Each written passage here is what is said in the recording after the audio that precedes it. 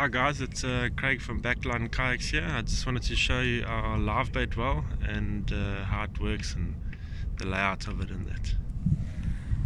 It sits at the back of the boat behind the seat and is a simple elastic lid uh, to open and close it. Uh, 2 millimeter thick polycarbonate lid. Just open it there you see we've got uh, two big mackerel swimming around in there. We've got a mozzie as well. All looking happy and healthy. And then we have our inlet on the side. Happy bait.